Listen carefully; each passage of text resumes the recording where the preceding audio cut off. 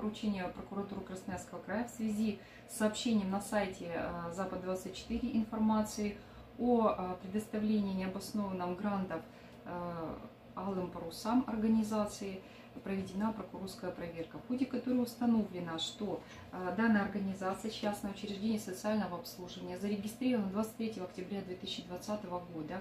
Ее единственным учредительным руководителем является Сильченков Денис Олегович.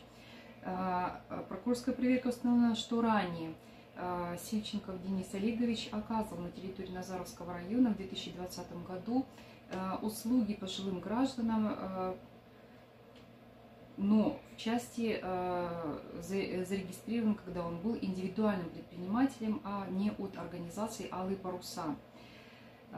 Какие-либо доказательства в ходе прокурорской проверки, что учреждение социального обслуживания частное «Алые паруса» осуществляло свою деятельность с периода его государственной регистрации до предоставления грантов администрации города Назарова не выявлено. Вместе с тем, в соответствии с положением могут быть э, участниками некоммерческие организации в конкурсе для предоставления э, субсидии э, из бюджета городского округа, которые зарегистрированы в установленном федеральном законном порядке и осуществляющие на территории субъекта Российской Федерации свою деятельность.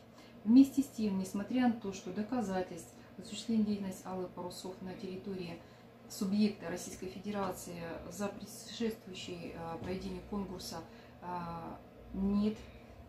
Постановление администрации города Назарова 17 ноября 2021 года 1293-П Алые паруса, организация частного учреждения социального обслуживания, признана победителем конкурса. Предоставлены э, гранты по э, гранты э, страница спорта 25 тысяч рублей, второй шанс 30 тысяч рублей и адресная помощь 25 тысяч рублей.